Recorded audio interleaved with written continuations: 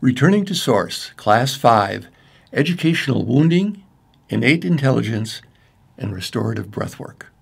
Hello, I'm Jim Morningstar, your guide through this nine class journey of returning to Source. Our innate intelligence and educational history. Now, in my counseling work since the late 1960s, I've encountered countless individuals who do not consider themselves smart, at least in terms of how they did in school. Further inquiry always reveals reasons for these conclusions, which are seldom a lack of gray matter. One of the questions I almost always ask is what was going to school like for you originally? Uh, kindergarten. Answers range from a traumatic separation from an identity defining bonding that they had with a person in their family, most often mother, to a dramatic experience of freedom and fascinating new worlds opening to them. Now, the difference for many being how secure they were supported in feeling within themselves at home, and the match they experienced in the school environment with the skills and learning style they had adopted. We all know that when we're severely emotionally challenged, our capacity for logical thinking is compromised. When our amygdala, or early warning smoke detector, as it's been called, is on red alert, the hypothalamus disengages connections to the prefrontal cortex, where we do our logical thinking and planning. And connections are directed to our emergency network, which helps us flight or flee danger. Should neither of these options be available, a third freeze response may be engaged to shut down all but the most primal vital functions to help preserve the organism.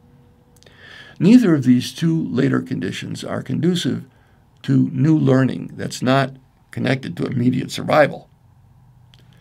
Children whose emotionality is deregulated have a hard time attending, concentrating, or remembering, or they may do so intermittently and have their overall standardized performance impaired. Hence, their belief that they're not intelligent. The good news is that our organism is highly resilient and our spirit can be undaunted. I've seen many traumatized individuals overcome their difficulties and live highly functional or even exemplary lives. In fact, some of the compensatory mechanisms developed for their survival, for example, a heightened sensitivity, survival instincts, empathy, psychic awarenesses, can become signature strengths which give them superior advantages when integrated into their healed personal and regulated professional lives types of intelligence. Having attended a graduate program whose chairperson literally wrote the textbook on intelligence test construction, I became appreciative of what IQ tests measure, their limitations, and their biases. Indeed, they are standardized on a cross section of a population whose prevailing values are being measured. Individuals are then compared to the range of abilities of that population on a number of different tasks that are valued in that culture. The tasks in the most commonly used IQ test are divided into two categories verbal and performance. The scores are all averaged, resulting in an IQ or intelligence quotient, which is then either understood and used properly to rate an individual on how they perform, with how they may be expected to perform on individual tasks in the future, or explain difficulties with these tasks for them in the past. Ideally, it will help suit them to use their skills in the right settings and or improve areas they need to improve for a satisfying life. The most commonly used IQ test in the United States was developed by David Wechsler in the 1930s. The latest revision, WAIS 3, was released in 1997. It provides scores for verbal IQ, performance IQ, that is nonverbal, and the combination of these two, the full scale IQ. along with four secondary indices or subdivisions verbal comprehension, working memory, perceptual organization, and processing speed. That score puts an individual in a range of the general population from the very superior to well below average. Unfortunately, the IQ score can be misused to stand for the overall value of a person or group of people and work to the detriment of all involved.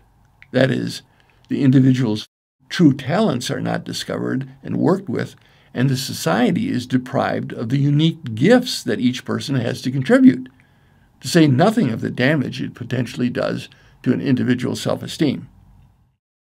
When an IQ test standardized on the average American was given to a group of Navajos, they came out as a group below average. When an IQ test standardized on the Navajo culture was given to average Americans, as a group, they scored in the dull normal range.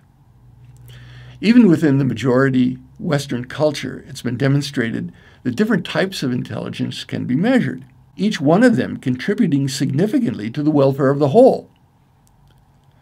Howard Gardner proposed this model in his 1983 book, Frames of Mind The Theory of Multiple Intelligences. These include musical, rhythmic and harmonic, visual spatial, verbal linguistic, logical mathematical, bodily kinesthetic, interpersonal, intrapersonal, naturalistic, existential.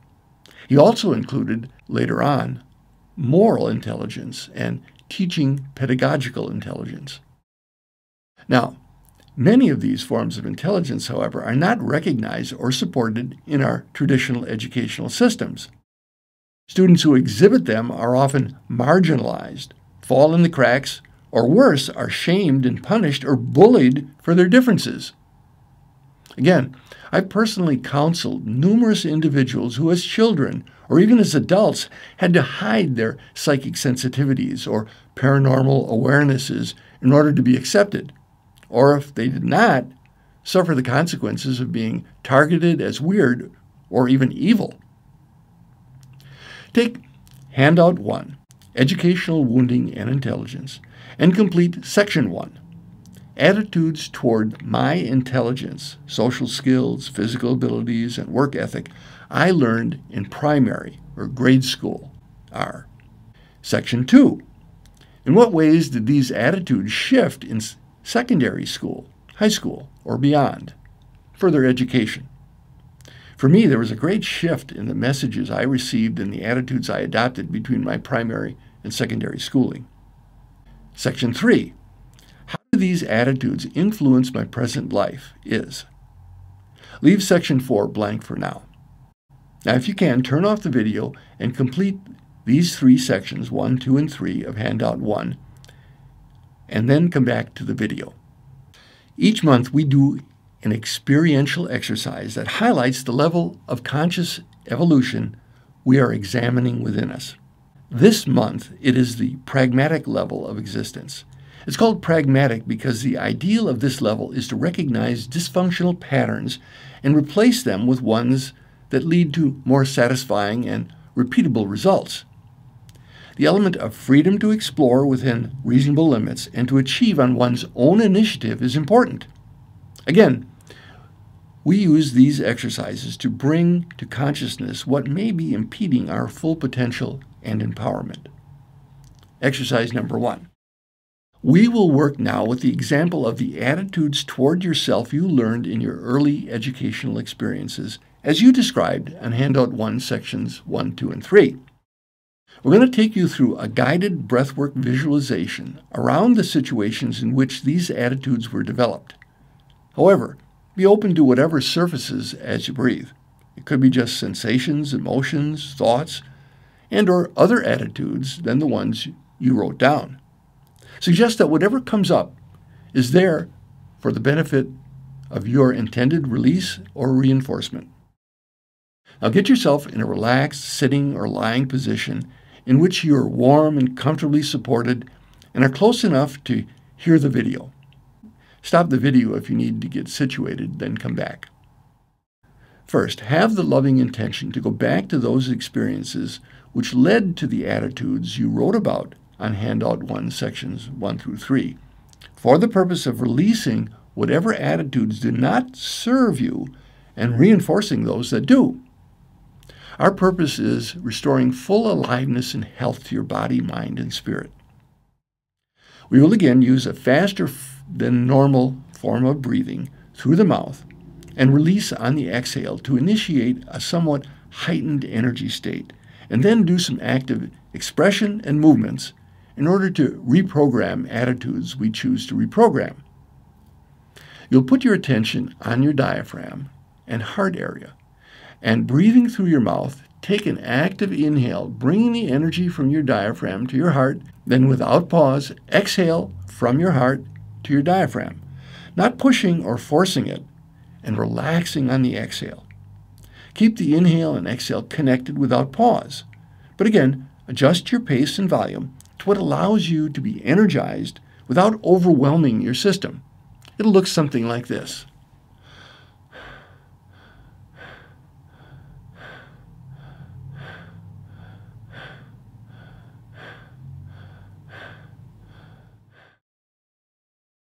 We'll do a few minutes of this faster breathing and then do some visualization work. Let's begin. Keep the pace going and let yourself get adjusted to the faster than normal rhythm that you can easily sustain as I talk. If you need to switch to breathing through your nose, do this. That's okay. Now, continue your cycle of faster than normal breathing and bring your attention to an attitude toward yourself that no longer serves you, even if it's had a positive intent at its inception. As you breathe, let the situations and feelings come to mind in which this attitude was fostered, but see it from a loving witness point of view. Do not collapse into the scene and experience it from the inside. Notice the patterns of behavior that this attitude have led to as you progressed in your life? And which of these patterns presently limit you unfavorably? Again, from a loving observer position, as you continue to breathe fully, see yourself now entering your life and giving yourself the tools, the circumstances, and the encouragement to challenge and change the situations which led to the negative conclusions about yourself. It's important that you take your time and feel this intervention as loving and empowering.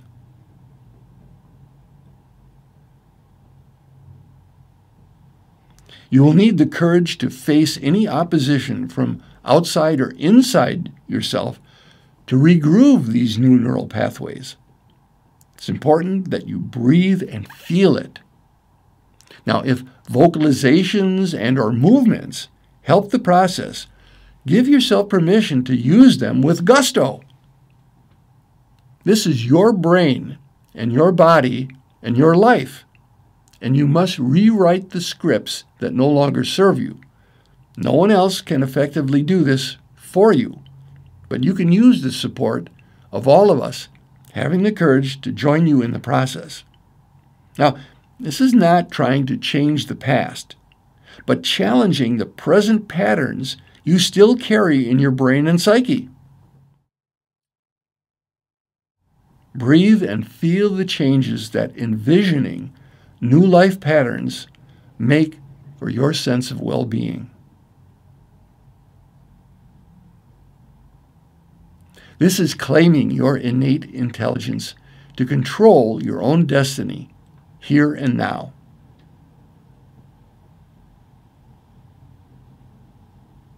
The more you can give yourself permission to breathe this into your body and feel it, the better. Even if you can only do this a little bit, it's a great victory, and the skill will improve as you practice it. This skill is free and it's yours. Claim it.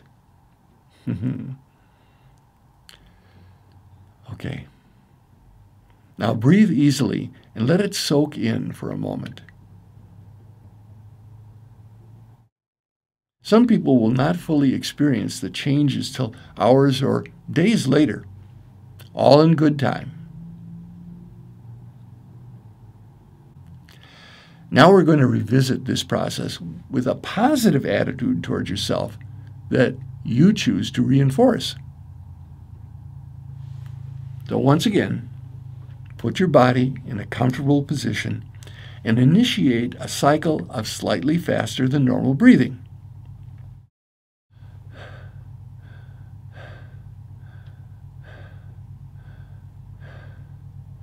Now, bringing your attention to an attitude toward yourself that serves you well, even if others had judgments or fear about it in the past. As you breathe, let the situations and feelings come to mind in which this attitude was fostered and see it from a loving witness point of view.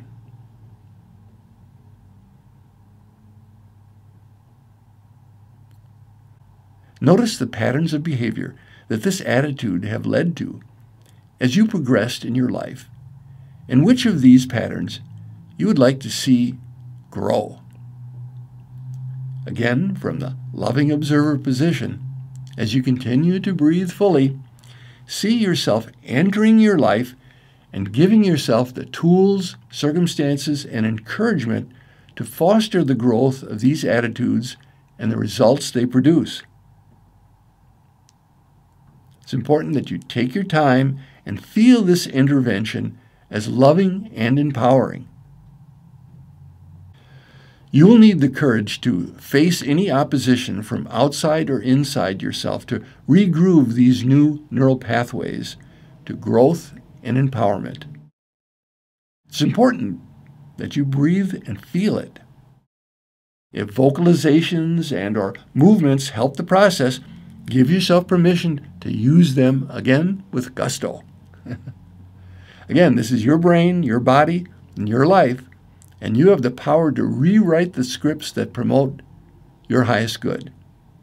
No one else can effectively do this for you, but you can use the support of all of us having the courage to join you in the process. Breathe and feel the changes that envisioning new life patterns make for your sense of well being. This is claiming your innate intelligence to control your own destiny here and now. The more you can give yourself permission to breathe this into your body and feel it, the better. Now, even if you can only do this a little bit, it's a great victory, and the skill will improve as you practice it. Again, it's free, it's yours. Claim it. Breathe easily and let it soak in for a moment. Some people will not fully experience the changes till hours or days go by. It's all in good time.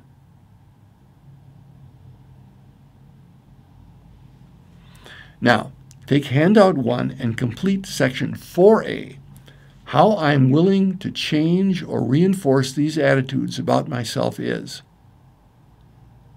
And in section 4b, steps I will take to implement these changes are. So turn off the video and come back when you've completed this. And take time to integrate these changes if you need to. Holding you in my heart as fellow travelers on the road home, I send and receive blessings for our circle and all sentient beings till next class. Blessings in light and love.